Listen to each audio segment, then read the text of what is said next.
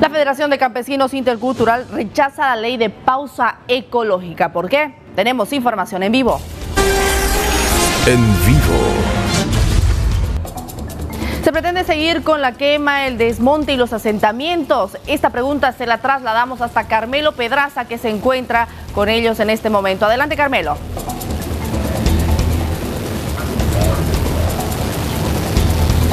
Así, en este momento yo me encuentro con el señor Wilson Cáceres de la Federación de Interculturales, que ellos rechazan la promulgación de la ley de la pausa ecológica. Buenos días.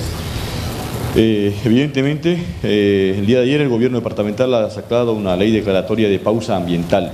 Nosotros como productores convivimos con la naturaleza. Todos estos tiempos hemos estado trabajando, hemos sufrido sequías, inundaciones, eh, cambios climatológicos, pero sin embargo el gobernador saca un decreto de pausa ecológica en la cual nos restringe, para empezar, el cambio de uso de suelo que estamos haciendo trámite en algunos municipios, en zonas donde ya son desmontadas, están en producción y eso no se puede parar. Nos prohíbe el asentamiento en, eh, evidentemente en las zonas afectadas. Nosotros convivimos, nos han pasado muchos años que hemos sufrido estas sequías, estos incendios y hemos tenido que ir y de vuelta a cultivar, reforestar, hemos tenido que ir a plantar árboles, hemos tenido que empezar a cultivar en esos campos que han sido afectados. Entonces viene una lluvia y eso va a empezar de vuelta a recuperarse. Nos prohíben también las quemas si el productor no, no, no, quema en una hectárea, qué sé yo, este, ¿de qué va, cómo va a cultivar su, su, producción?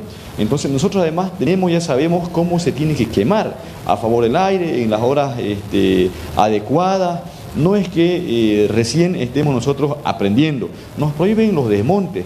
Imagínense, en la chiquitanía no se puede dar un machetazo, pero eh, tenemos que nosotros eh, utilizar la máquina para poder habilitarlo y no quemar. ¿no? Entonces, y sabemos también muy bien de que las tierras, por ejemplo, que se han incendiado, el 7% apenas es generado por los productores y el 93% es por los ganaderos. Entonces creo que hay que ser conscientes y nosotros rechazamos esta promoción del, del gobernador. Muchas gracias. Bien, con esta posición de los interculturales retorno con usted, Claudia. Gracias por el reporte, Carmelo Pedraza.